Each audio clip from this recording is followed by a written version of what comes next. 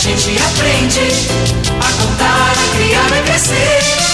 É na escola que nasce o desejo de pensar e de tudo saber.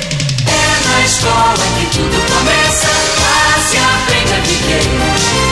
Na escola que a gente entende o sentido de ser. É na escola que nasce a amizade, na escola se aprende o valor de um amigo, de um companheiro,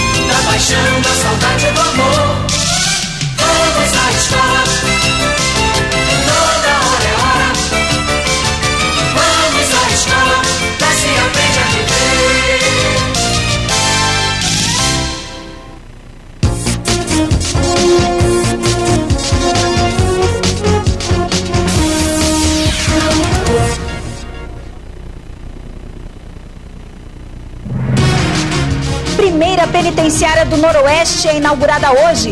720 novas vagas para tentar resolver a superlotação das cadeias da região. Medicamentos caros e até importados. O SUS é obrigado a fornecer de graça, mas para conseguir esses remédios, pacientes têm que entrar na justiça. Se não pressionar, não consegue. Na quaresma, muita gente não come carne e as peixarias é que faturam. Tem até comerciante fazendo espetinho de peixe. Quer provar? Uma delícia mesmo. Cores fortes nas unhas. Os esmaltes vêm com novidades para o inverno. O Paraná TV já está começando.